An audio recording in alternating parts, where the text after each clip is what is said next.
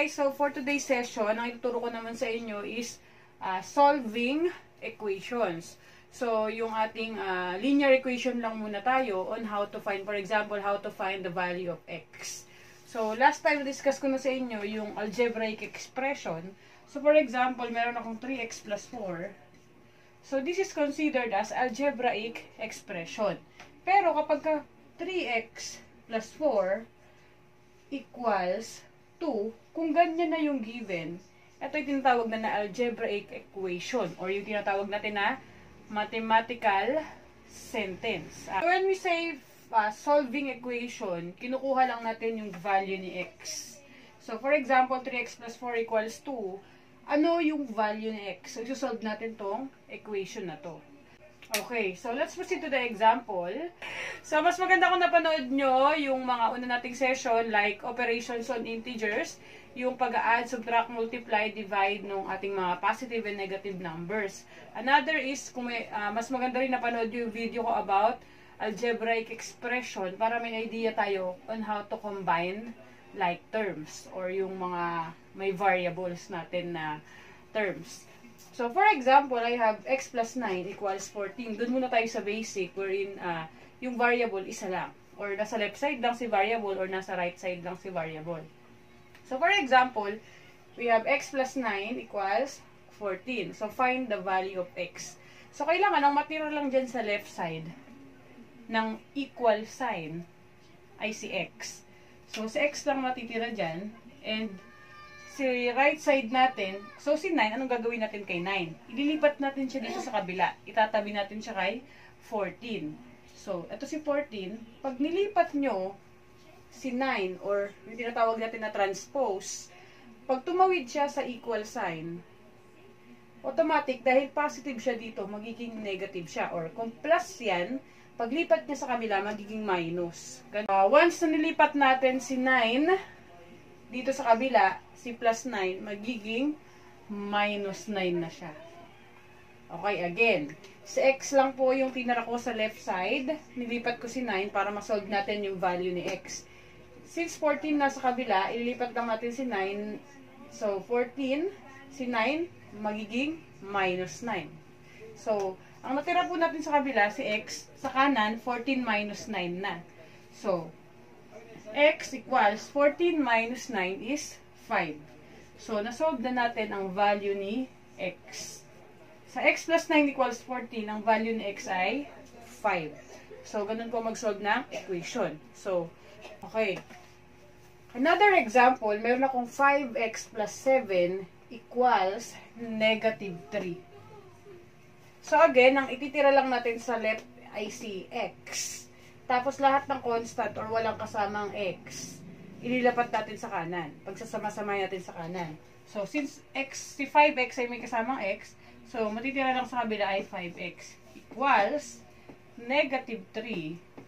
Ililipat natin si 7 dito sa katabi ni negative 3. Tatawid siya sa equal sign. So, since positive siya, magiging negative 7 or minus 7.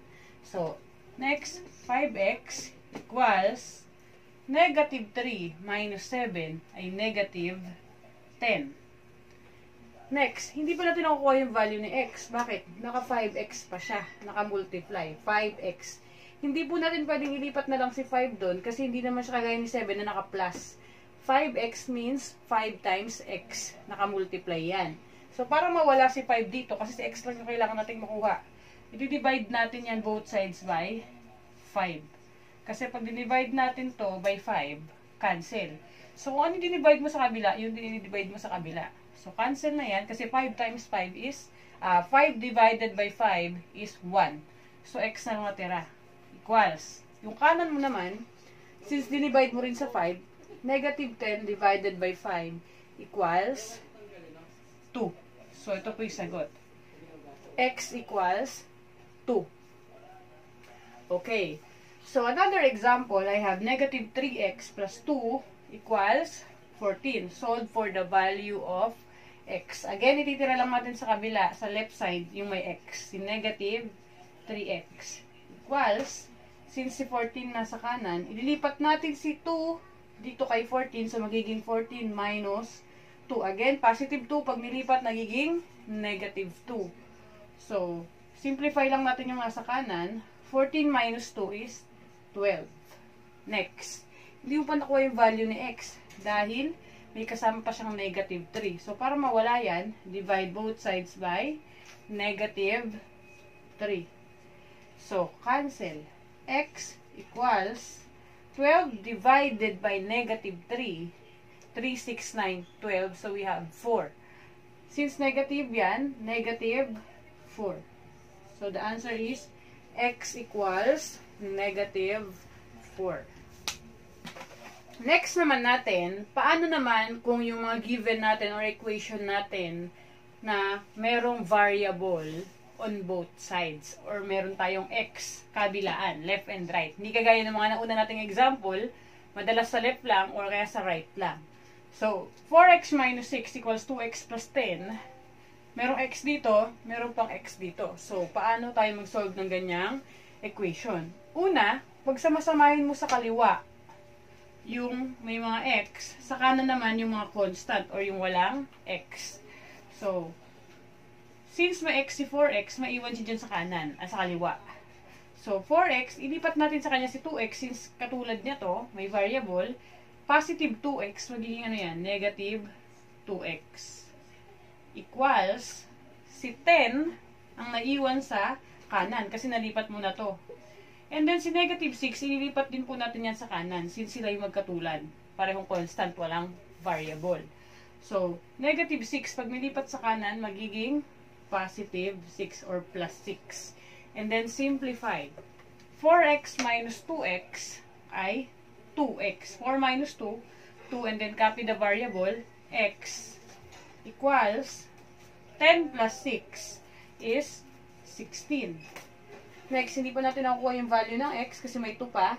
Para mawala sa 2 dyan, divide both sides by 2. Para makancel yung 2 dito. Next, ang matira na lang dito ay x equals 16 over 2 or 16 divided by 2 ay 8. So, the answer is 8. X equals 8 dito sa ating equation. Okay. So, next naman natin, I have 6x plus 9 equals 3x minus 3. So, again, may variable tayo on both sides. Pagsasamahin lang natin sa kaliwa, lahat ng may x. And then, yung magkapareho naman na constant or walang x, pagsamahin mo sa kanan. Left, right. Okay, so 6x, may iwan dito. Si 3x, ilipat natin, magiging minus 3x. Is positive yan. Equals, si negative 3 ang naiwan sa kanan, ilipat natin si 9. So, plus 9, magiging ano yan? Minus 9. Next, 6x minus 3x ay 3x. 6 minus 3, 3. Copy the x equals negative 3 minus 9 is negative 12. Again po, sa mga nahihirapan pa rin sa operations on integers or may positive, negative, may in-upload din po ako na uh, tutorial dun sa pag-add, uh, subtract, multiply, divide ng mga positive, negative numbers. So, again, balik tayo dito. 3x equals negative 12.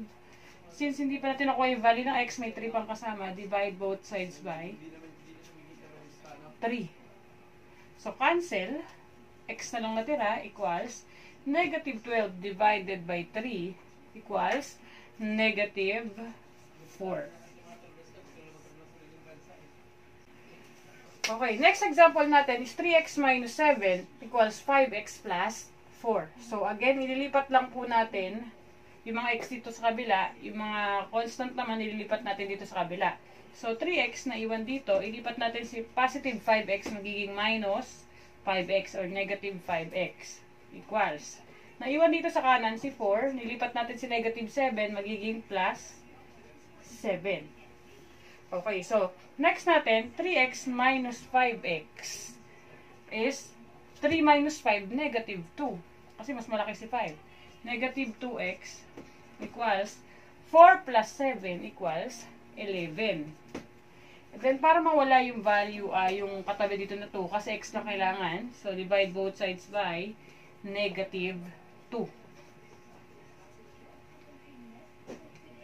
So, ang final answer natin, cancel. Ang natira dito ay um, x equals, since 11 over 2 ay hindi makapagbigay ng eksaktong ah, sagot, 11 divided by 2, hindi naman pwede, kasi magiging decimal yung sagot mo, pwede nga na yung sagot.